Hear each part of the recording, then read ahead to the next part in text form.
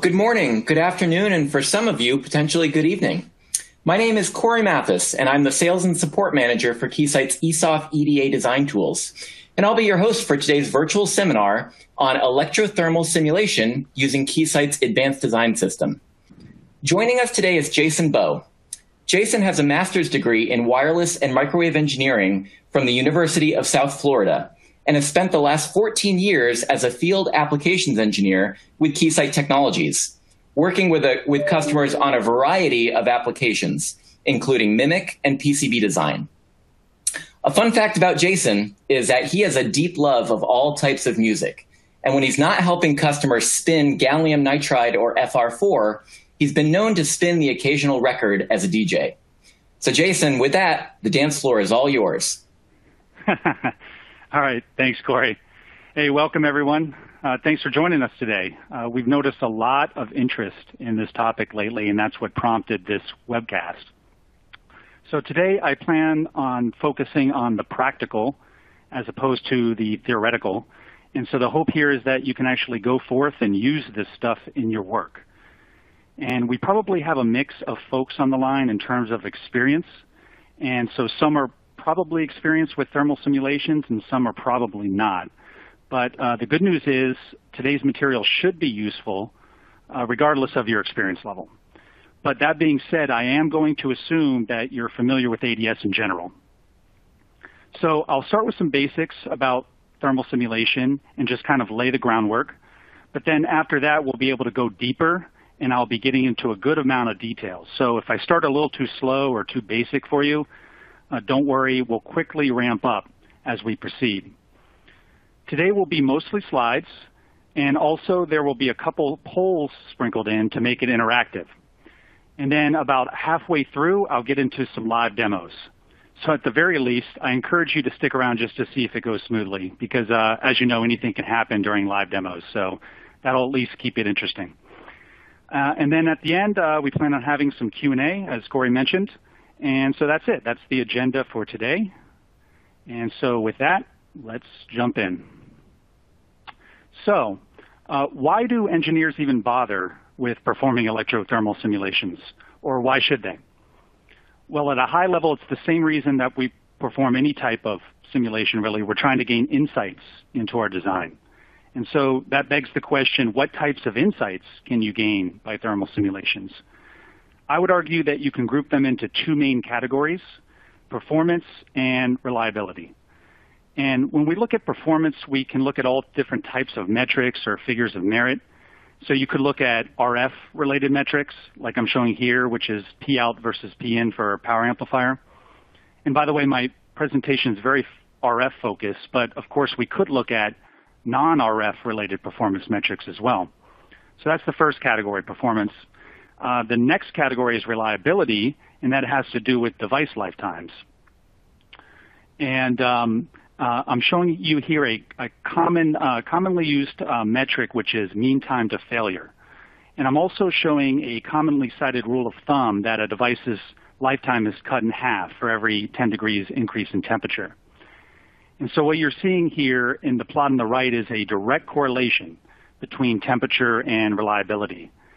And you're also seeing two different data points along this mean time to failure trace. And one point was from a simulation that used self-heating models, and the other was from a uh, full 3D finite element method simulation, which includes not only self-heating but all the mutual heating on the chip between the devices. And as you can see, the mutual heating effects can be significant, and so that's why it's important to perform uh, full 3D thermal simulations whenever possible, as opposed to using simpler self-heating models. So just like RF engineers are already worried about electromagnetic coupling, they should also worry about thermal coupling. So if you weren't already worried about thermal coupling, you're welcome. I'm giving you one more thing you can worry about. So why should you perform electrothermal simulations in ADS in particular? Uh, in other words, why should you pick ADS as the tool to do this? Well, a good reason is because ADS has everything you need. It has a full layout environment, which is capable of combining IC layouts and package layouts. And then besides the layout, there are, of course, all the circuit simulators and a full 3D finite element method thermal simulator. and very importantly, all the links between the two, the circuit simulation and the thermal simulation, uh, that automate the passing of data between the two domains, the electrical domain and the thermal domain. If you've ever tried to do this manually, which is, you know, pass data between circuit simulators and thermal simulators, you already know it's a tedious process, and you have to manually pass power dissipations from schematic models to the thermal simulator, and then manually pass device temperatures from the thermal solver to schematic models. What makes this even trickier is it's an iterative process. In other words, to do it right, you have to iterate several times because the power dissipations depend on the temperatures, and the temperatures depend on the power dissipations. The good news is ADS handles all these iteration steps automatically, and so now it becomes practical even for fairly large device counts. So later I'll go, in, uh, go into a, a, bit more detail about how this iteration process works in ADS, and you'll also get to see the stuff in action during the demos. So as I mentioned, ADS has an integrated thermal solver, and uh, this thermal solver has a name. It's called HeatWave. Although when it's inside of ADS, we tend to just call it ADS Thermal or ADS Electrothermal. Uh, HeatWave is also integrated with third-party tools like Cadence Virtuoso and HSpice, and we use the name HeatWave when it's paired with these third-party tools. The focus of my presentation today is on ADS, but I do want to show you one example of a HeatWave simulation in Cadence Virtuoso. So this is an example that I like to show because it illustrates HeatWave's capacity and also its accuracy. So this uh, shows some published results from AMD on an, on an IC that has 800,000 transistors and 4.5 million heat generating elements, which includes devices and interconnects. So AMD was very concerned about the temperatures of the interconnects between devices. I'm showing here a plot of measured versus simulated, and it shows very good correlation to within a uh, degree in most places. And so again, the focus of today is on ADS, and the types of problems that we're trying to solve in ADS are quite different than that previous example from AMD. And um, the focus of ADS is on RF microwave type problems, and specifically it's on RFICs and MMICs, along with their packages. So the device counts for these ICs are a lot lower than that previous example, but these devices do, of course, come with their own unique sets of challenges. So this design is very representative of the types of circuits that our customers solve using ADS. It's a three-stage power amplifier uh, designed using a WIN-GaAs process, and it's targeted at WLAN applications. There are two versions of this design, and both versions have identical schematics, but the layouts are different. So in one version of the design, the devices are laid out such that the RF transistors are thermally isolated from the bias transistors. And that's the top two plots that you see. And we're applying a pulsed RF input signal. As you can see in the isolated version, the uh, temperature of the bias transistor, T mirror, does not track with the temperature of the RF transistor, TRF. And you can also see some gain hysteresis, which is a manifestation of thermal memory effects. Now look at the bottom two plots, and the version of this design has a layout where the bias transistors and the RF transistors are thermally coupled together. So the temperature T mirror of the bias does track with TRF, and the gain hysteresis is reduced. So this is just one example of um, how, having uh, integrated electrical and thermal simulations can, unco can uncover uh, potential performance issues in ADS. So I wanted to mention this other tool that's inside of ADS today, um, even though it's not the topic of today's presentation. And uh, this is a board level thermal tool that's inside of ADS. And it's part of the signal integrity and power integrity suite of tools inside of ADS called SI Pro and PI Pro. So PI Pro stands for Power Integrity Professional. There is a thermal solver inside of that tool and allows you to do um, very complex board simulations. So it could be very large and multi-layer boards that you can solve. And as you can see here, you can model the package thermal resistances and add heat sinks and thermal pads and things like that and simulate at the board level. Um, so this is not the topic of today, but I did want to mention it. The topic of today is on ICs and on packaged IC thermal simulation. So that's really the, the focus of this tool um, today.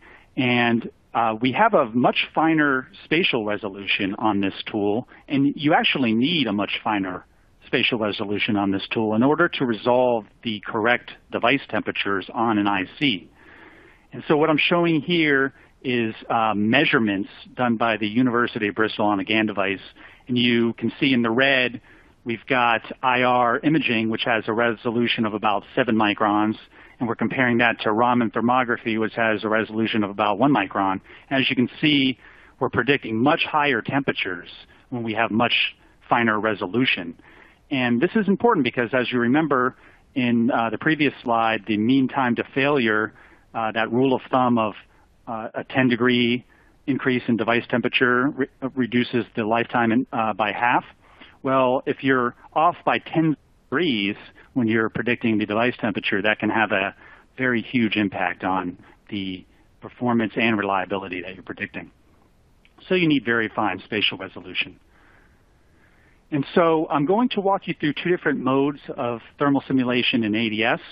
There's what we call full electrothermal co-simulation, which requires both a schematic and a layout. And sometimes I'll refer to this as ETH, short for electrothermal. And then there's another mode called floor planner, and that's a layout-only thermal simulation. And I'll walk through how those work, and I'll also demo both of these in uh, today's presentation. So let's walk through a full electrothermal co-simulation step by step. So as I mentioned, you need a schematic and a layout, and you also need thermal tech files, thermal, thermal technology files. And I'll talk about these in greater detail in the coming slides. Um, so what you do is you perform an initial circuit simulation with some initial temperatures. So these initial temperatures could be initial guesses or ambient temperatures, but you need some initial temperature to feed into the initial circuit simulation. And then you solve the electrical equations in your chosen circuit simulator, just like any normal circuit simulation. And then we write power dissipations for each device in your schematic. These power dissipations get passed into the thermal simulator and the thermal simulator solves thermal equations and it writes temperatures. These temperatures get passed back into the circuit simulation and we perform another circuit simulation using the updated temperatures. And we again solve electrical equations and we again write out new power dissipations. And those power dissipations again get passed into the thermal simulator. And so this process repeats. And uh, it repeats until we get self-consistent powers and temperatures within some delta P and delta T values that is uh, that are user settable. And so you get two benefits out of performing full electrothermal co-simulation. You get more accurate circuit simulations because you'll have more accurate device temperatures for all the devices in the schematic. But of course, that assumes that your device models are accurate versus temperature. But as long as that's the case, you will get more accurate performance um, prediction. And then you also get the benefit of using uh, the full 3D thermal viewer that's embedded in ADS. So you can probe and post-process the temperature and view the temperature in full 3D. So those are the two benefits of performing this. So when you're doing electrothermal co-simulation, uh, you can see all of these simulators are supported. So DC, AC, and S parameters all assume no time dependence. In fact, the AC and S parameter simulation thermal solutions are based on the DC thermal solution. Harmonic balance is fully supported, and it's valid as long as all of the tones in the harmonic balance simulation are higher than the thermal time constants of your device. And usually that's the case except in the um, instances where you have a small delta F two-tone simulation or if you have mixing products that are very low frequency. And if that's the case, if you have low frequency content, then you may want to consider running circuit envelope or transient simulations. And so both of those simulators are supported. And both of those simulators, as you probably know, have time steps associated with them. And you can set the electrical time step separately from the thermal time step. So each can have their own time step. And typically, the electrical time steps will be much finer and much smaller time step to resolve the electrical signals than what you'll typically need for a thermal time step. We also support a logarithmic thermal time step, and that allows you to simulate over longer time scales more efficiently. We have a very, um, very uh, useful, pardon the pun, um, feature called thermal reuse. And that can really speed up some electrothermal co-simulations. And um, it's a two-step process, which uh, you initially need to extract an ETH data model, and then you can reuse that model. The model will be placed in a .rm file in your data directory of your workspace. And it does take some time to extract the model, but once you have the extracted model, the subsequent simulations will be much, much faster. And so uh, I'll demo uh, the reuse process uh, in the coming uh, electrothermal demo, so you'll see um, more details about that. We do have another way of reusing data, which is a non-iterating simulation that just loads device temperatures from a previous simulation. That's a much simpler approach, um, but that is available if you'd like to use that as well. Now, if you're using this thermal reuse uh, procedure, you need to keep in mind that nothing should change about the layout. So boundary conditions should not change, the layout should not change, and things like ambient temperature and things like that should not change. And ADS does not check for changes, so it's up to the user to make sure that if you're reusing electrothermal data that you're using it under the right conditions. And so here are some limitations for this thermal reuse feature. Uh, it does not work with transient or envelope simulations. So anything with a time step uh, does not work with.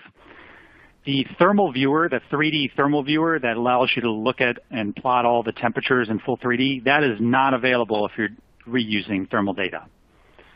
You cannot, as I mentioned, change the ambient temperature or the boundary conditions or the layout in any way. So now let's talk about this other mode that I mentioned earlier, which is the thermal floor planner mode. So in this mode, we go ahead and take away all that schematic related stuff, and we're just running layout only thermal simulations. And this is called the thermal floor planner. So the name floor planner might imply that you should only use it in the planning stages of a design, but actually, you can use it later on in the design process on full layouts if you'd like. The, the only caveat is you have to manually enter in all the power dissipations in the layout, and so that could become tedious on a, on a full complicated design. But there's nothing stopping you from running thermal floor planner simulation on all of the mask layers and all of your heat sources in a full design. And as I mentioned, no schematic or circuit simulations required. And as part of the floor planner, we have a wizard that facilitates the addition of arrays of heat sources. So if you don't know what heat sources are, don't worry. I'm going to go into detail about heat sources uh, in the coming slides. But uh, these are regions of the layout that dissipate power as heat, and we can place arrays of them all at once, which really makes it easier for multi-finger devices like transistors and other types of devices. And, um, and I'll demo this, this uh, heat array placement later. All right, so as promised, I'm going to walk you through some details about heat sources. And sometimes I use the term power sources, and I use these terms interchangeably, and they mean the same thing. So heat sources in ADS layout are 3D regions of the layout that dissipate power as heat. So they can represent various devices like transistors, resistors, even transmission lines or vias, or you can even use them to represent a larger kind of design block in, in a design where maybe you don't have that smaller part of the system designed yet, and you just want to represent some power dissipation and see the thermal performance as it relates to some other part of the system. So you could even do that. What's important to know about the uh, heat sources is they're not two-dimensional, they're three-dimensional, so they have a z-dimension thickness. And that's determined by the slice in the substrate definition. And we'll talk about the substrate definitions in detail in the coming slides. Heat sources are always rectangular, and so if you need to um, draw or represent any other shape, then what you'll have to do is represent that shape as multiple rectangles. And we do have uh, customers doing that, so that does work. And heat sources are always drawn on special layers defined in the technology that are called heat layers. And they have a special design or process role called a heat source role. And we'll talk about that. Uh, we'll talk about that definition later. So where should the heat sources be placed? Well, it depends on what type of device we're talking about. And by the way, um, if you have a thermally enabled PDK from a foundry uh, that's thermally enabled for ADS, they have probably, or they definitely already placed these heat sources in the P cells of the devices for you. But still, this is good background information for cases where you have to do this yourself or just for general understanding. But if you have a uh, bipolar transistor, um, you, the basic approximation is to put it in the base layer directly under the emitter stripe or stripes. And so what I'm showing here is a single heat source drawn in red, and you can see it's a rectangle. And you can also see a bit of text, Q1, and that bit of text overlaps the heat source. And the bit of text matches the name of the device in the schematic, Q1. And that's the magic that allows uh, the co-simulation and the, the, automatic passing of uh, data back and forth between the electrical and thermal domains is the, the matching of the, the names here.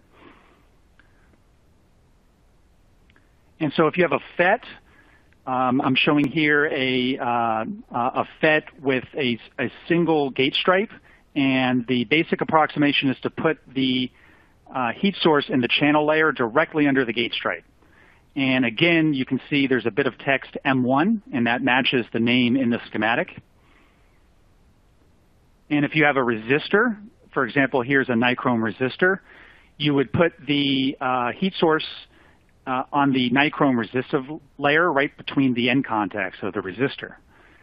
And so these are the only examples I'm showing here, but uh, you could also place heat sources for things like transmission lines, and for inductors and other devices and diodes and things like that.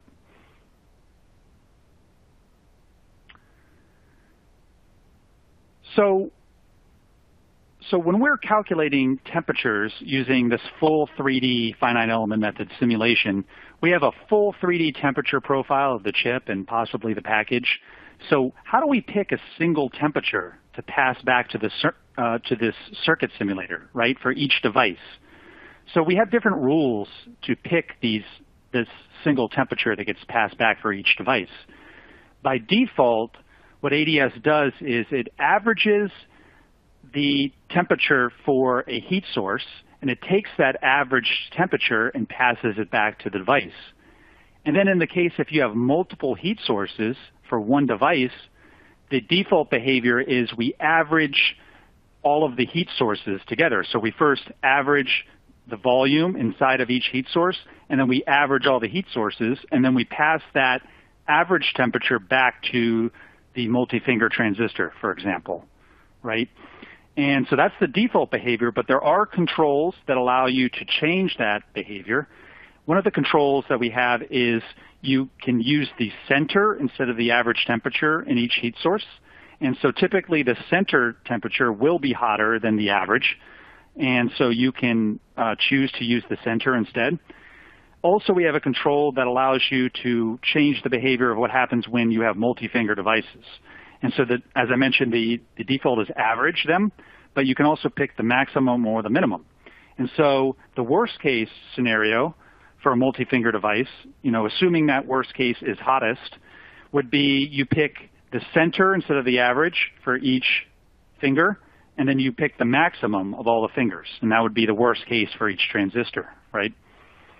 All right, so we're at the point, we're making, I think, pretty good time here, actually. We're, we're ahead of where I thought we would be. And we're going to kick off some live demos. All right, so, um, so now let's go ahead and jump into the live demo. And uh, what I'm going to do is uh, demo using our demo kit, which ships with ADS. And this is a PDK that is representing a fictitious GaAs process. And so you can see there's GaAs substrates here and silicon nitride substrates. And uh, there are various conductor layers mapped and via layers mapped. And there's these heat layers that are mapped. And they kind of mirror the conductor layers. So you can see there's a conductor called M2 and then a heat layer called heat M2. And the heat layers have a special process role that you can see over here called heat source. And that's uh, to contrast that, if you go and look at one of these regular conductor layers, they've got a conductor process role, and they have a material assigned to them, in this case gold. If you look at the heat sources, the heat layers, they have no material assigned to them. Instead of having a material assigned to them, they will have a power dissipation assigned to them. And so if you're familiar with this graphical substrate editor already, uh, from, from using EM simulations, you know, this should look familiar if, you, if you've used it, right? And caveats later. One additional step that you have to do if you want to use this, this substrate editor to set up the substrate for thermal simulations is you need to go to File, Export, Thermaltech files. And then you will export three Thermaltech files, uh, and then those are actually the things that are used by the thermal simulator. So the thermal simulator, unlike our EM simulators, it does not directly use this substrate. It, it uses Thermaltech files, and there's various reasons for that, and I'll kind of touch on those a little bit as we go through this demo. So anyways, th this is what the substrate looks like for this design that I'll be demoing. And I'm actually going to demo in reverse order of uh, how I talked about the, the floor planner and the electrothermal, I'm going to start with the floor planner. And so I'll start with a almost blank layout in ADS. And the only things that are here are these little dummy pieces of metal that I drew off in the corners, and then this outline. The outline is actually not doing anything. I just drew it there as a visual cue so you can see what the boundaries, where the boundaries will be located as I'm running these floor planner simulations. This is actually not doing anything. What's actually setting the boundary are these little dummy pieces of metal out here. And um, so the floor planner uh, or any thermal simulations, it will always place the side boundaries at the outermost extents of whatever's drawn in your layout. And so that's this is kind of just setting the outermost extents. And so what I'll do is I'll go to Tools, Thermal Floor Planner, floor plan setup. And uh, this is uh, the window where I can set up and run all of my floor planner simulations. And so the first thing you'll need to do is go and point to a thermal tech file. And in my case, I'm using the demo kit, and it's using tech.tcl. And uh, so you always browse to that tech file. And um, I'll talk about what's in that tech file more later. And then you can set the boundary conditions for the top and the bottom face of this simulation. And so we can set the thermal resistances in terms of Kelvin per watts. And if you need more control over the boundary conditions, you can use an explicit package.ini file instead. So for instance, if you wanted to set the boundary conditions on the side boundaries instead of just the top and the bottom, you would use this package.ini file instead of just this simpler uh, user interface. If you just set the top and the bottom boundaries, what happens is the side boundaries are assumed to be adiabatic, which means no heat will flow in or out of that, um, uh, uh out of those sides. I'll go ahead and leave the ambient temperature at the default, which it defaults to 25 degrees C. And I'll go ahead and leave all the meshing controls as default. I'll talk about meshing in more detail later. So I'll go ahead and add a heat source. And this is the heat source array wizard that I mentioned earlier in the slides. And so this uh, gives me the opportunity to place an array. So I'll go ahead and add, or I'll, I'll modify the array name. I'll just call it array1. And I'll say that this represents a device called Q1. And you can see I can determine or set the, the total power dissipated in this device in terms of power in watts or current and voltage. So I'll just go ahead and set it in terms of power and watts. And I'll set it to be 0.6 watts because I'll have six array elements, and I'll split that as 0.1 watts to each of the elements. And it gives me an op opportunity to place um, these array elements on a particular heat layer. So all of those heat layers that I showed you in the substrate appear in this drop-down box. And so I'll put this on the heat mesa layer, which is uh, where the power is dissipated for these transistors. And I'll go ahead and just leave the heat array dimensions as the defaults. So what this will do will be create uh, a two by three, two rows, three column array. And you can see the widths and the pitches in the X and Y directions. So I'll just leave all that stuff as default and just place the array. And so here's my heat array. And if I zoom in, you can see a bit of text has been automatically placed on these rectangles and the text shows you the device name, and it also shows you the amount of power in watts on that array element. So you, you can see it's 0.1 watts on each of these elements.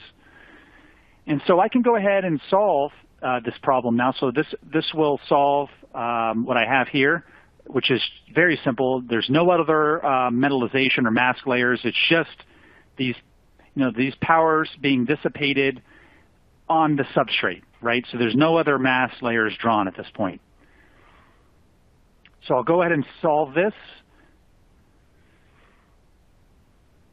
And automatically, the 3D thermal viewer pops up. You can see a little bit of meshing artifacts here. And I'll talk about meshing controls where you can smooth out the, the thermal plots. Um, but don't worry about that for now. You can see the on the left side, there's a total temperature range that's displayed from the lowest to the highest on the chip. And um, you can see on the right side, there is a slider that allows me to go through different Z slices of this chip. And as I move through the different slices, you can see the uh, the temperature shaded temperature plot changes as I go through different slices, right? So as I go to the mesa layer, that's the hottest Z slice because that's where the power is being dissipated. And as I get away from the mesa layer in any direction, if I go down or up, it starts to get cooler as I go away from that mesa slice, right? And you can actually look at this from different vantage points. So right now we're looking at it from the top view. I can change and go into orbit mode. So now my mouse is in orbit mode and I can orbit this around and look at different vantage points if I'd like. And now if I move this slider, it becomes even more apparent as to what we're doing. I can also use my mouse scroll wheel to scroll up and down through the slices of the chip. And I can also enable these various cut planes to look at various locations inside of the chip. So these are all very useful tools that are built in. Um, there's different mouse modes.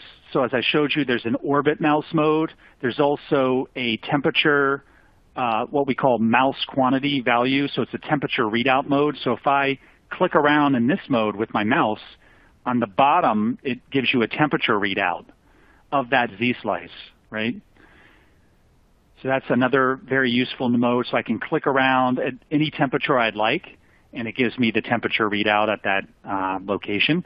Another useful mouse mode is this one here, which is mouse instance properties. And if I go into this mode, I select various array elements. And this gives me a lot of useful information about whatever array element that I've selected down here in the bottom left. And so you can see the array element's name, its average temperature, its total power dissipation, its power density, its total area, and what layer it's drawn on.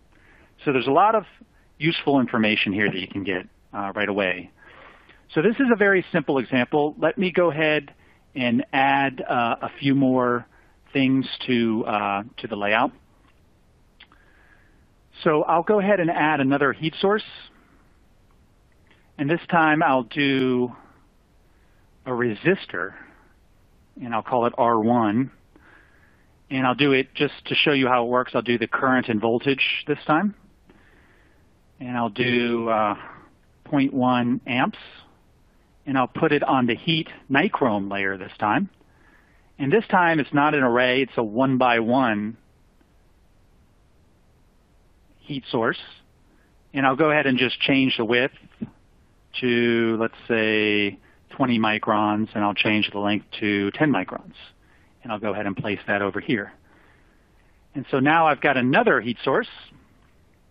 And you can see it's dissipating 0.2 watts. And let me go ahead and just add a couple other things just to show you how it works. Uh, I can add any types of mask layers or, you know, including metallization layers. So let's just go ahead and draw a just a random piece of metal on um, one of these layers. So I'll draw on the M0 layer, I'll draw a rectangle of metal over here. And I will add something from the demo PDK palette. I'll add a backside via element from that. So this includes geometries and masks from many different layers, all part of this PDK element. And so I'll go ahead and solve this now and show you the results. So if I go to thermal floor planner, I can go ahead and just solve for temperature, or I could even solve for temperature and background. And the difference between those two modes is in background mode, it does not lock up ADS, whereas in this mode, it does lock up ADS. Um, so if you solve it in background mode, you can continue working in ADS. So if you have a longer simulation, that could be convenient.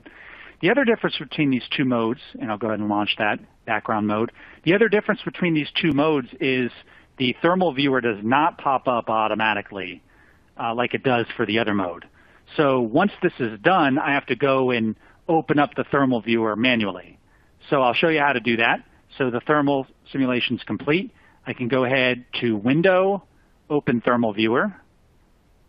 And you can see there's a couple GDA files. These are the thermal viewer files. Um, the one that you typically want is the one that matches the name of the cell. These other ones are intermediate results. So I'll go ahead and pick this one and open up the thermal viewer. And here are the results. So there's a few interesting things we can see in, in this result. So the first is it looks like the nichrome layer this time is the hottest instead of the um, mesa layer. So it looks like the nichrome slice is, is the hottest. You can also notice that that metal that I placed over this location has caused these fingers of the transistor to be cooler because the metal is a better thermal conductor, so it spreads the heat better than the substrate materials. And so that's why these fingers are cooler. And uh, here's tool that you can use in this thermal viewer, you can actually show all mask geometries. And so if I select all, you can see the mask geometry. So now you can see that piece of metal that I drew here. And you can also see the via that I placed over here. There's a, a couple other ways to look at this data. So you can actually look at um, the layers mask geometry. So uh, if you do that, instead of showing all the mass, uh, layer mask, it'll show just the ones that are in whatever slice that I'm in. So if I go ahead and start moving, so if I start moving this slider, we should see the mask, which it will only see the mask layers in that particular Z-slice, right? So that's a different way of looking at it. Um, so remember I placed that via over here, and it's, it's, it's a bit hard to see the, the effects of the via. So if I go down to, here I'll, I'll go ahead and, and turn off these materials or these uh, layer masks. So it's a bit hard to see the effects of the via if I look here. I'll show you one trick that comes in handy is uh, instead of showing the total range, the temperature range of the entire chip, you can actually change the display so that you're showing the um, range in a particular Z-slice. So this range slice can be useful.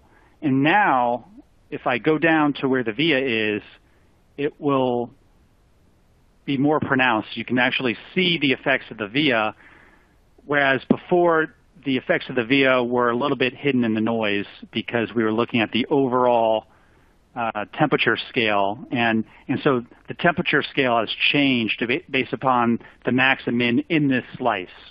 So that can be very useful. Another useful uh, tool is that I use pretty frequently actually is the ability to look at various um, materials in each slice. So you can actually do that as well. So as I move through this Z slice, it shows me what materials are present in that slice. And so um, it shows you what is the background default material. And so in this slice, the background material is silicon nitride. And then it shows me that there's gold drawn here. This, this tool here has helped me debug several problems several times where you know, for instance, I, I thought there was air inside of my via, but in fact it was filled with metal, and I was getting results that I didn't understand. Uh, this kind of you know, view of looking at the materials in each slice of your problem can actually be very, very useful, and you can discover a lot of uh, interesting uh, things that way. And so just to, to kind of finish off the demo of this thermal viewer, I, I can show you we have, in addition to this shaded view, um, we have some other um, types of plots. We have contour curves. We have iso surfaces. Here, so here's iso surfaces.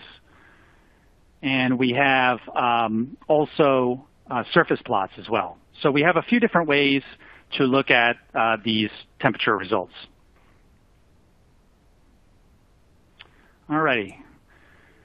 So with that, I think I'm going to go ahead and show you the next demo, which is the electrothermal. So that kind of wraps up the floor planner demo. So hopefully that gives you a good feeling for what you can do.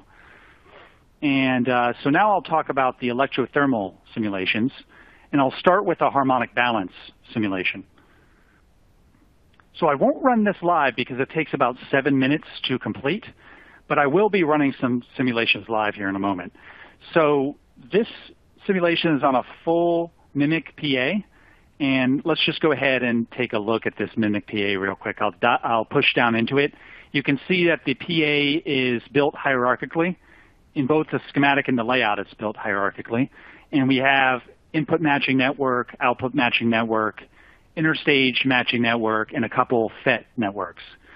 And um, you know, I could even push down further here and show you the FET networks, right? So this is all built completely hierarchically.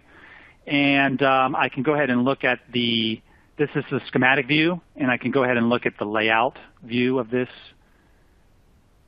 And so here's the layout view. And if I look at the layers here, I'll go ahead and turn off the visibility for all the layers except for the heat layers. So I'll go ahead and just, you know, turn off um, turn off everything except for heat M0. So you can see on the heat M0 layer, there's some rectangles drawn, and these are for various transmission lines. We've got heat M1 layer, and this is also for transmission lines, and heat M2 transmission lines. And then we've got the heat mesa layer for the transistors, and then we have the heat nichrome layer for a resistor right? So we've got all these different heat layers that are drawn as part of, as part of the PDK elements. And so the, the co-simulation will automatically happen because the, uh, the PDK has been set up to automatically pass data between all of these heat sources and their um, corresponding schematic models in the schematic. So this is the design uh, that we're simulating. And uh, We'll go ahead and uh, close this layout window and I'll pop back up. And so you can see we're running a power swept harmonic balance simulation. We're sweeping PN, so this is a P1 tone that we're putting into the power amplifier and we're sweeping the PN from minus 10 to 4 dBm.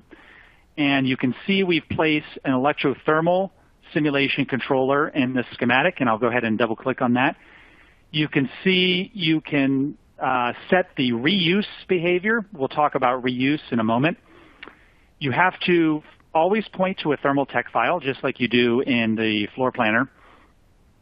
And uh, you can set the boundary conditions similarly to how I showed you in the floor planner, or you could use a package.ini file. And then there's some advanced settings here too that I kind of hinted at earlier where you can use the center instead of the average temperatures for the fingers. You can, you know, instead of using the average of fingers, you can take the maximum. So that's where these controls are located in the, in the advanced tab. And so you can also see we placed an options controller, and that sets the ambient temperature for the simulation. So I'm not going to run this simulation because it takes about seven minutes. But what I will do is show you how you can extract a reusable ETH data model for this. So I'm not going to run this extraction routine because it takes even longer. It takes about 25 minutes to extract data for this amplifier. But I want to show you how it works. So you can see here we're not sweeping power. We're picking some P in that's somewhere in the middle of the ultimate power sweep that we want to ultimately perform. And we want to, and we want to um, uh, extract a reusable data model, right? So if we go through uh, the electrothermal controller, you can see we're extracting an ETH da data um, model for reuse, and that'll create that .rm file. And so, I, as I said, I'm not going to show this live, but what I, what I will show live is their reuse. So now, assuming we already ran the 25-minute you know, extraction routine, I can go into the electrothermal controller and say, I just want to reuse that data. And now, if I run the power swept, so remember, I only extracted at one power value, but now I'm sweeping when I reuse it. And I can, I can run this simulation live because it's very fast. And so you can see a very good correlation between the um, reuse data, which is the blue, and the brute force method, which is the brute force, you know, simulating electrothermal at every different power level. And so, um, and you can see we extracted the data at only one point, but nevertheless, the trends are followed throughout the entire power sweep. So this is really good correlation. You can see well within a degree, and the worst, you know, the most deviation we're seeing is two degrees over here on this um, device. So uh, very good correlation. And the correlation even holds up if we switch the, the bias point. So here's a different bias point. So uh, previously we extracted the model using a 5 volt bias, but now we're using a 3 volt bias. And if I run this simulation that reuses the data, you can see even though we've gone away uh, quite a bit from the, the temperatures at which we extracted this model, we're still getting good correlation between the brute force method, which is the black, and the um, reuse, which is the red. And so we extracted way up here at the blue, but we're still getting the trends in the reuse model. So this is really good results. So that's harmonic balance. Um, uh, I got to kind of speed up because now we're kind of getting uh, a little bit long on the demo part. So real quick, uh, I'll show you a transient movie just to show you what that looks like. Um, so I'm not going to run this simulation, but I, I can show you the pre-generated transient movie. So we've run a transient simulation, and as I mentioned before, the electrothermal time step has its own time step, which is, in this case, we set it to be one microsecond. And here's the uh, thermal results, and we can go to display transient movie, and it'll go ahead and play the movie from start to finish. And then I could also optionally, you know, manually move this transient movie slider around if I'd like to see the transient results at any point. So let me go ahead and uh, wrap up the demos now. So hopefully that gives you a flavor for how this works. And I'll go ahead and stop sharing. And we'll return to the slides and we'll keep it moving. Alrighty, so let's talk about thermal technology files. Uh, as I mentioned, there's three thermal technology files that must exist for as a prerequisite for any thermal simulation. There's a tech.tcl, there's a heatlayers.config, and there's a streamlayertable.txt. And all of these three files will be already pre-populated in any thermally enabled PDK that you get from a foundry. And so they'll typically be located in a thermal folder somewhere in the PDK directory. And uh, it's very common uh, as a user of a PDK that you'll want to add layers above and or below the IC to model the package or some other thing around the IC. And so you have a couple options to do this. You can either manually edit these tech files, or you can use the graphical substrate editor, which creates this .subst file. However, there's a caveat with using the graphical substrate editor in that it does not support all of the capabilities of the thermal tech files. And sometimes you will need to manually edit these thermal tech files. So here's the graphical substrate editor um, that I showed you before. And as I mentioned, you can manually uh, set this up in the graphical substrate editor uh, graphically and then export the thermal tech files. And you can also set up all the material properties in the same place where you set up material properties for uh, electromagnetic simulations. So if you never noticed this, the thermal properties are right next to the electromagnetic properties. I already demoed this, so I'll just go ahead and skip this. Uh, you've already seen the conductor role and the heat process role. So if you look in the, the tech.tcl file, you'll see some, um, uh, typically you'll see the thermal conductivity K is defined as temperature K pairs. So this is temperature in degrees paired with um, what is the uh, you know uh, thermal conductivity at that temperature. So that's one way to define thermal um, or temperature dependent thermal conductivity, which by the way our our tool supports, and that's a very important thing to model, right? And so you can model it using these pairs, or you can even use an equation in the thermal tech file. Another material property is volumetric heat capacity, and this comes into play when you're running time-varying simulations. And this is a uh, material property that uh, can be calculated by taking the material's specific heat and multiplying times the uh, density. So if you look in a thermal tech file, in addition to the material properties, you'll see all the Z slices laid out this way. And, and actually, they're laid out upside down. So it starts from the bottom of the chip and goes to the top. And it shows the thickness of each slice, followed by the background material, followed by any layers and their materials. And the layers in that slice are listed in order of precedence with the uh, most precedence coming first. So whatever material has the most precedence, that comes first, or whatever layer. In the thermal viewer, the Z slider that I was demoing earlier directly correlates with the Z slices that are in the tech file, in the thermal tech file, except that the, in the thermal tech file, they're upside down. And then just to kind of round out the, the discussion, so these are the other two thermal tech files. So I, I showed you the tech.tcl. These are the other two I mentioned, the heat, heat layers config and the stream layer table.txt.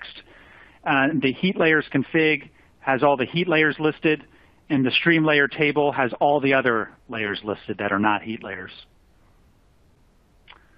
All right, so let's talk a little bit about boundary conditions.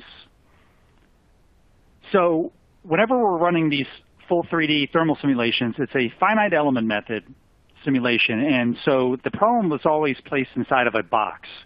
And the sides of the box, the six faces, um, are the boundaries. And we need to set boundary conditions for these six faces. So there are two modes in which we can set these boundary conditions.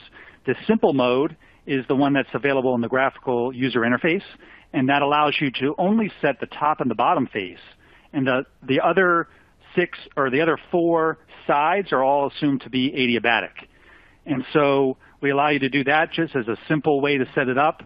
And if you need more control, you can set this package.ini file, and that allows you full control over every aspect of all six faces of the boundaries.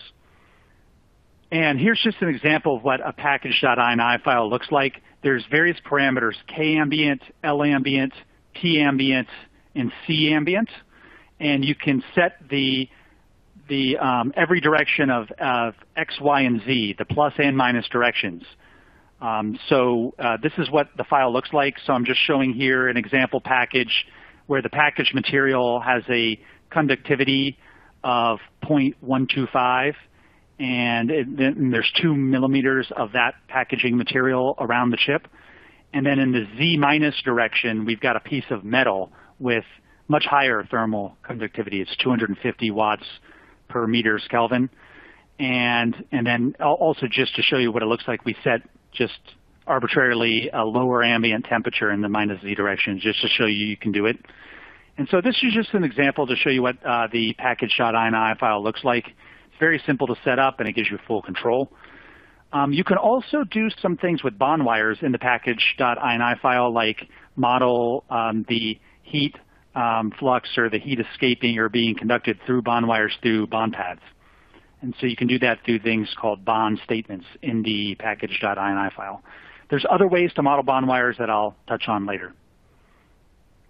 So as I mentioned, you need to be careful uh, about where you're placing the borders or the, the boundaries of the problem. And the boundaries, the sides, are automatically put in the outermost extents of your drawing. So just keep that in mind. So you can either draw a polygon around your design or you can put some corner polygons to define the extents. And you, you want to make sure you set the boundary condition, uh, the boundary locations in a good place. And, and one good recommendation is to try to set them in the middle of a homogeneous material instead of on the boundary of two materials, uh, especially if one of those materials is a good thermal conductor and one is a poor one. So, um, uh, so that's just a good um, um, practice to try to keep. So there's various physical phenomena that allow for heat transfer, and um, our thermal solver only models conduction. So it does not directly model convection or radiation. But uh, you can actually set boundary conditions to approximate convection. And so one way to do this is by using the heat transfer coefficient, which is K ambient, that the ambient conductivity divided by the L ambient, which is the length of the thermal resistor in meters. You can use a heat transfer coefficient and then calculate the the thermal resistance and plot and, and plug that into the boundary conditions. And so here's some example uh, examples for for the heat transfer coefficient for still air, unforced convective air, and for uh, forced air. And so you can take that H value, multiply times the area of the face of the chip. So if it's on the top face, you would just take the, the area of the top face of your chip. You would multiply that times H, and then you would take the inverse of that, and you would get the, um, the thermal resistance in, in um, Kelvin per watt. Another trick that I've seen some people use is they take advantage of these adiabatic boundaries that are on the sides, and you can actually use them as symmetry planes. If you've ever done this with electromagnetic simulations, it's very similar. So electromagnetic finite element method solvers also have E and H boundaries that you can take advantage of that kind of split the domain and it simulates in uh, a little bit faster if you do it this way. So just be aware you can do this with the adiabatic boundaries too. So let's talk about meshing very briefly. And um, so what the, the key to meshing is you want to you want to do it right, but you don't want to overdo it. And so uh, I see a lot of beginners overdo meshing quite frequently, and so we want to make sure you're not overdoing it. So there's just several uh, mesh um, parameters that you can enter into the user interface. And um, uh, one of them is initial grid seeding, and uh, it sets a coarse mesh um, and here's how to calculate it. I'm not going to go through these calculations in the interest of time, but you have these slides. The, the nice thing about this initial grid seeding is you can directly calculate it by looking at the, um, the x and y dimensions of your chip and then choosing a value that gives you uh, five, uh, 50 to 100 micron spacing for mesh points. The mesh refinement setting. This is a setting that I see sometimes get abused by customers. And the default is 4, and the recommended values range from 4 to 8. You don't want to just arbitrarily start cranking this up thinking that you're going to get more accurate results. That's one of the mistakes that I see um, some folks make. And um, it, it, cranking this up does increase simulation time, and beyond a certain point, it won't really increase the accuracy. And remember I mentioned earlier about meshing artifacts and sometimes not seeing smooth results. There's various things you can do to smooth those out, uh, including uh, mesh refinements, but, but then also another setting that I'm going to talk about later, which is um, meshing algorithm. But don't overdo this because remember, we're averaging temperatures together um, a lot of times. And so um, just keep that in mind that if you're doing electrothermal simulations, we're already averaging temperatures inside of um, heat sources, and we're also potentially averaging multiple heat sources together. So don't overdo the meshing. Uh, mesh spatial resolution is, is, is a fairly uh, advanced um, setting, so you probably shouldn't be messing with this setting unless someone from Keysight is telling you to do it. And then the final setting, I say the best for last, is meshing algorithm. I really like this setting for controlling the meshing, and it actually controls several internals of the HeatWave uh, solver, and it, it really is a great balance between accuracy and speed. And so we have three settings for this. We have zero, one, and 2. 0 kind of is the default, and it kind of favors, I would say, speed over accuracy, but it's still very reasonable. And then we've got one which gives you some higher mesh um, resolution around the, the edges of heat sources. And then the newest one is two, which I've found very useful for GaN devices with very, very extreme aspect ratios like very, you know, hundreds of microns long gates with, you know, just a fraction of a micron wide. So our final topic is packaging. We're almost done, and then we're going to open it up for Q&A. Um, so packaging is um, very cru uh, crucial to, to model with many ICs because the package really directly impacts the, the thermal performance of the chips in many instances. And there's two ways to do it. You can draw or import the package drawing directly into ADS and then mesh and solve it along with the IC. Or you can try to model the package as a uh, you know, as boundary conditions on the IC. So you could use the package.ini file to, to model them as boundaries, or you can use some combination of those two approaches. We do have a, um, a little utility that ships with ADS that only runs in Linux, but it helps you calculate the package.ini parameters to, to fill in for all those different parameters like K ambient and L ambient. One thing that uh, you need to keep in mind is in ADS layout, all of the drawings um, are planarized, so there's no truly conformal layers, and this includes bond wires. So we have special bond wire components for electromagnetic simulations, but you cannot use those with the thermal simulations. So if you're going to do bond wire simulations, you need to approximate them like I'm showing here, which is completely vertical and completely horizontal, basically. And a little bit more on bond wire simulations. Um, them to generate their own heat and not just conduct heat away from the from the chip. But if you want them to generate heat, well, they must dissipate power. So in order for them to dissipate power, they would need to have heat layers, and they need those heat layers need to be assigned power dissipations. And, uh, and you can do this. So we do have examples of, of doing this. So if you want to get into that, just let us know. And then finally, um, if you're doing a combination of ICs and packaging and, uh, and, and, you need to define the substrate in the graphical substrate editor, uh, there's a couple different approaches. You can try to uh, create one master substrate that includes all the layers, or you can use nested technology, which uh, is supported for the electrothermal simulator, but it's unfortunately at this point it's not supported for the floor planner. So if you need to do it for the floor planner, you'll need to do the master uh, substrate. And so that is it. So uh, looks like we've got about 15 minutes left. So um, that was all I had. Yeah, so why don't we at this point uh, open up for uh, some Q&A. We've had, Jason, a number of questions roll in throughout the presentations. Clearly, this is a hot topic. So the first question comes from Steve. And he asks, do you have any benchmarks that compare measured versus simulated data? We do. We do actually. Um, if you go into the resources in the console, uh, there's a couple places where you can see some benchmarks.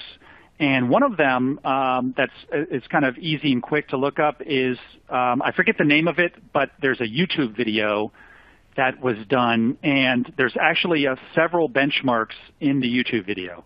So go check out our YouTube videos that we have in the in the resources, and one of them has some benchmark data. Excellent. Thank you, Jason. Diraj asks, uh, typically how much longer does ETH simulations take when compared to thermal only? That's a good question. So um, because we have to iterate, um, you're, you're, running several circuit simulations and several, you know, several circuit and several thermal, right? So it multiplies, right? So it really depends on how long each one of those individual simulations is taking and how, how many iterations you have to perform. We have different controls over how many iterations are performed, so you can kind of have a little bit of control over that and mitigate that if it gets kind of out of control in terms of uh, you know time. Um, but uh, but yeah, really, it, it's one of those answers where it depends, right? And some sometimes the the addition of thermal on top of electrical simulations really is not that much of a time increase, and sometimes it is. Great, thank you, Jason. Uh, Karen asks, um, can I use ADS thermal if my PDK isn't thermally enabled? That is a great question. So um, the, the, short answer is yes. You, you, can run thermal simulations if your PDK is not enabled from your Foundry. Um, but it does it does make it a lot easier if your if your Foundry has enabled the PDK to be um, you know thermally aware, right? So we've added some additional capabilities recently in ADS that um, allow you to instead of put the heat sources down inside of the P cells you can put the heat sources at the top level of your layout. And that additional capability that we recently added within the last year or so, I think it was, it really made it easier to do this stuff where maybe your PDK is not thermally enabled. However, you're still going to need to get you know the thermal material properties from your from your foundry somehow, and so so so definitely you know it, you know uh, in that scenario where you don't have an enabled PDK, I would I would urge you to to definitely um, ask your ask your um, your foundry to to support it too. But but there's definitely things you can do. We have a question from Dong. He asks, uh, can you enter temperature-dependent material properties for thermal simulation? Yes, you can. So the um, thermal tech file um, allows you to have um, temperature-dependent materials and um, you can enter it in uh, in the thermal tech file, or you can also enter it in the materials database section of ADS. Uh, if you're familiar with where you enter in all the material database uh, information, not just for thermal, but for electromagnetic, you know, electrical properties. In that same place, you can actually enter in temperature-dependent uh, thermal conductivities. So you can do it either in the file or in the user interface. All right. Um, a number of questions from Bikas here. Uh, I'm going to choose this one. Um, does ETH work with nested technology or smart mount?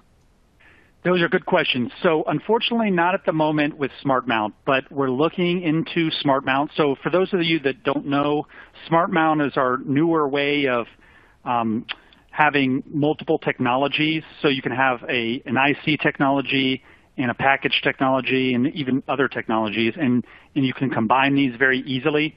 Um, we don't support that yet for thermal, um, but we're, we're definitely looking into that. Um, for the for the other method of doing it, which is just the nested technology way, I would call it, uh, we do support electrothermal co-simulation, but we do not yet support the floor planner.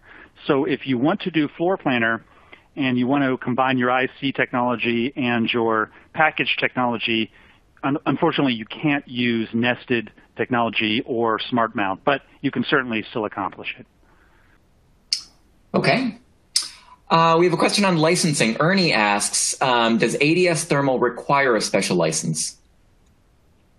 Yes, yes. And um, we, we have different ways that we can bundle it together or or sell it standalone, right? So, but it definitely does require a special license. And so, um, if you're interested, definitely you should reach out to your your local sales representative and make sure that they uh, they can give you you know an evaluation license. You can try it out, and um, and they can they can help you. All right. Uh, we have a question from Song. He asks, uh, do we have any examples for a limiter diode thermal simulation? Uh, I believe, well, I, I, know for, for certain we do have diode examples. Um, in, in fact, I placed an example on the Knowledge Center of an example of an electrothermal simulation with a diode. So I would encourage you to check that out and maybe reach out to us and we'll, we'll send you the link to that um, and uh, maybe put that in your feedback. All right. Uh, a question from Jerry. Uh, is it possible to run a PI Pro DC co-simulation with thermal simulation? Yes. Um, so you can run PI Pro. So that remember that was not the topic of today, but I did have a slide on PI Pro thermal um, at the beginning, towards the beginning, and uh, that's a totally different type of thermal simulator. And there's no integration between this thermal simulator in PI Pro and the one I was talking about today. Just to make that clear. But um, but yes, in PI Pro at the board level, you can run either pure thermal simulation or electrothermal. Now the electrothermal looks different than what I showed today. It's it's you know targeted at different applications. But but yes, there is thermal and electrothermal in that tool. All right, we still have, uh, I think, a couple more minutes for a few more questions. We have a question from Oscar. Um, how do you go about changing the meshing? Yes, so we have those, there, there's only a small handful of um, meshing parameters that, that are uh, in the user interface. And uh, that's kind of done on purpose, actually. we, we, we didn't want to expose too many different settings that users have to tweak. Um, and, and that's kind of the purpose of that, that meshing algorithm parameter is it actually controls several different things all at once to make it easy for the user to uh, not get in trouble but also be efficient, you know. And um, but for advanced users, there is an option to put in. Um, we we have a um, a file that you can put into your uh, workspace that is a mesh configuration file, and it can actually even, further control the, meshing. But that's a really advanced thing to do, and that, that wouldn't be my first line of uh, you know things that I would pursue with a customer. Um, you know, I I would favor using all of the just the standard user interface stuff before I start trying to go in and, and use a mesh configuration file. Okay. Um, Andy has a question on does a heat source take away power from a PA output power? And its note is so that the overall energy conversation, uh, conver- uh, conservation is satisfied. Does a heat source take away? So we're calculating the total power dissipation uh, of a given device, and that power dissipation can be a combination of DC and RF. And so, and then we use that power dissipation to calculate the temperature. And um, we're getting the overall, uh, you know, dissipation um, from both of those sources. And so whether it takes away, I'm not sure how to answer that, but hopefully that kind of gives a little bit more clarity. And then for for S parameters simulation, AC simulation, um, there's no time dependence, and it's it's considered to be just purely DC. In harmonic balance, we are getting the kind of RF effects of the power. And in transient and circuit envelope, we're also doing that. All right, we actually just have a, a couple more questions here. Uh, so Vikas had a couple more uh, comments. Uh, one is, um, is there a way you can do some kind of back of the envelope calculation to know what you simulated is correct? Can you easily calculate it so that you know your setup is correct? That's a really good question. It's harder than you think. So um, I've seen a lot of customers come to me when they're first starting with this tool, and they are um, trying to do exactly that to try to get some confidence in this tool. And what they'll do is they'll make some really bad assumptions, and it's actually there's not a direct way to calculate it, but there are tools online that you can find if you look really hard that that make some approximations and some assumptions about how the heat from like a single rectangular heat source will spread through a rectangular chip downwards um, or upwards or whatever, right? Um, it's not a direct calculation you can easily make, but there's there's um, math that can be performed that makes some assumptions, and they and, and you can start to calculate this, but it's not straightforward. Even for a very simple problem of a rectangular heat source on a rectangular substrate, even then it's not that easy. And then what makes it even worse is, you know, we've got temperature dependent thermal conductivity. And so it just starts to be really hard to do back of the envelope calculations, which is kind of why you need this tool, you know, or a tool like this, right? All right, Jason, why don't we just do one last question? One more question from Dom. Uh, he asks, uh, does an ETH.rm file contain a thermal greens function?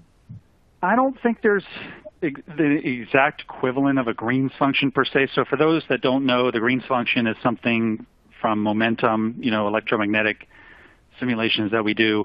Uh, I don't, I don't believe so. Um, I don't think there's an exact equivalent of that, but uh, you know, honestly, I, I, am not qualified to answer that.